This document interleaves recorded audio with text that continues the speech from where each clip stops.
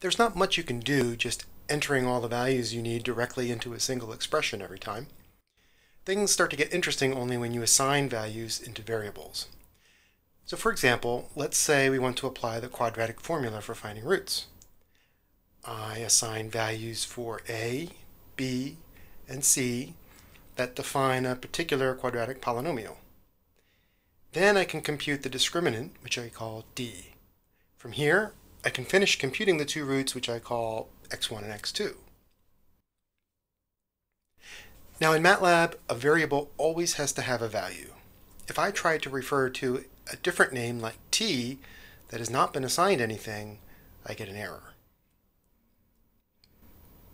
Furthermore, the value of a variable is fixed at the assignment time, and it doesn't change unless you do a new assignment. So if I were to give a new value to the variable b that I used in the calculations above, then it changes b, but it does not change any of the subsequent calculations that used b before.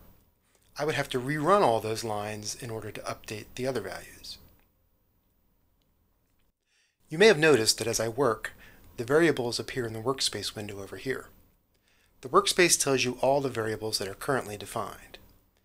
You may also be able to see the values themselves if they fit. By double-clicking on a variable in the workspace window, I get a spreadsheet that I could use to inspect the value or change it, although that's relatively cumbersome in this situation. If you look here, you will see that there is another variable that I did not specifically assign called ans.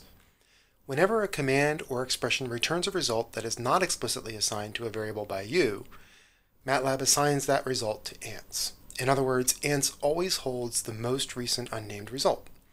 This can be useful for continuing or modifying a calculation. Sometimes you don't want to see the results of every single statement. This is especially true when a result is a very large array. If you put a semicolon at the end of a statement, the result will not be typed out. The rules for variable names are very simple. Variable names can contain letters, numbers, and underscore symbols, and the first character in the name must be a letter.